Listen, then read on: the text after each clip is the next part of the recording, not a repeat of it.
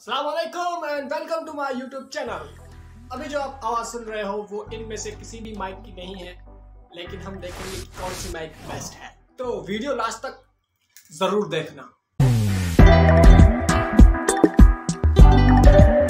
तो यूट्यूबर्स और गेमर्स को अपने वीडियो की साउंड क्वालिटी हमेशा बेस्ट रखनी पड़ती है। क्योंकि उनकी ऑडियंस को उन्हें एंटरटेन करना होता है, कुछ सिखाना भी होता है। तो इसलिए हमेशा हमारे नए यूट्यूबर्स नए गेमर्स हमेशा एक अच्छी माइक के पीछे लगे रहते हैं सर्च करते रहते हैं कि कौन सी माइक बेस्ट है साउंड क्वालिटी के लिए। तो सबसे पहले मैं अपनी बात करूँ तो मैं जो माइक यूज़ करता था पहले, वो थी बोया बी वाई एम वन और इसकी साउंड क्वालिटी कैसी थी वो आप खुद चेक कर ले। न्यू यूट्यूबर्स भी बहुत जल्द ग्रो कर रहे हैं। उसके बाद अभी जो मैं माइक यूज़ करता हूँ वो है ये हेडफोन माइक और ये है हमारी ब्लडी की तरफ़ से।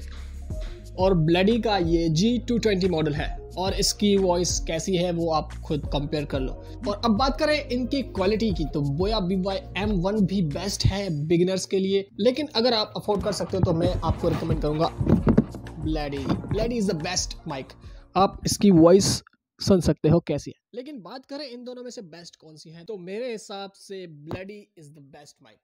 और आपको इसमें थोड़ा सा ज़्यादा खर्चा करना पड़ता है, लेकिन उसके फ़ायदे भी तो हैं। मैंने इसकी अनबॉक्सिंग भी की थी, आपने अगर वो वीडियो नहीं देखी तो आप जाके देख लें। अब इन दोनों माइक्स के कंपैरिजन की बात करें तो Boya B Y M one में आपको बहुत ही बड़ी लंबी तार मिलती है, जिसको आप खोल दो आसानी से सकते हो। लेकिन इसको फोल्ड करते करते करते करते बहुत ज़्यादा टाइम वेस्ट हो जाता है और फिर कुछ इस तरह से ये हो जाती है। मतलब कहने का यह कि आपको बोया बी वाई एम वन लेनी चाहिए, लेकिन सिर्फ़ तब जब आपके पास और कोई चॉइस ना हो। अगर आपके पास पैसे हैं बजट है आपका ब्लडी का माइक परचेज करने का तो आप ब्लडी का माइक ही परचेज करिएगा। क्योंकि ब्लडी के माइक में सिर्फ़ टू मीटर्स की वायर आती है, और ये काफ़ी है आप लोगों के लिए मेरे हिसाब से। ट्रस्ट में मैं भी वीडियो रिकॉर्डिंग करता हूँ, और मुझे तो बेस्ट लगती है ब्लडी की माइक अब ब्लडी की वॉइस क्वालिटी साउंड क्वालिटी सब कुछ बेस्ट है, और उसके अलावा ये पहनने में भी काफ़ी कंफर्टेबल है। और अब बात करें इन दोनों की लाइफ लाइन की तो देखो, ये एक वायर है। कभी भी कहीं पे अटक के टूट सकता है इसका माइक लेकिन अगर इस हेडफोन माइक की बात करें तो इसकी वायर काफ़ी मज़बूत है और काफ़ी मोटी है और इसके अलावा इसकी बिल्ड क्वालिटी को देखें तो काफ़ी मज़बूत है। अब बात करें इन दोनों माइक के प्राइसिंग की तो ये बोया वीवा एम वन मुझे मिला था बारह सौ रुपये का, यहीं से कराची से। और ब्लडी की बात करें, ये भी मैंने यहीं कराची से लिया था और ये मुझे मिला था सत्ताईस सौ रुपये ज़्यादा डिफरेंस नहीं है, ले सकते हो।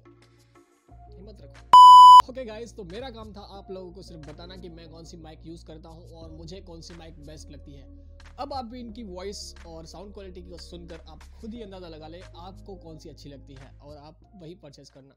क्योंकि अपनी चॉइस अपनी चॉइस होती है। और अगर ये वीडियो पसंद आया तो इस वीडियो को एक लाइक कर देना। और अगर क्वेश्चन है इस टॉपिक से रिलेटेड तो आप मुझसे कमेंट सेक्शन में पूछ सकते हो। Otherwise take care of yourself अल्लाह हाफिज़।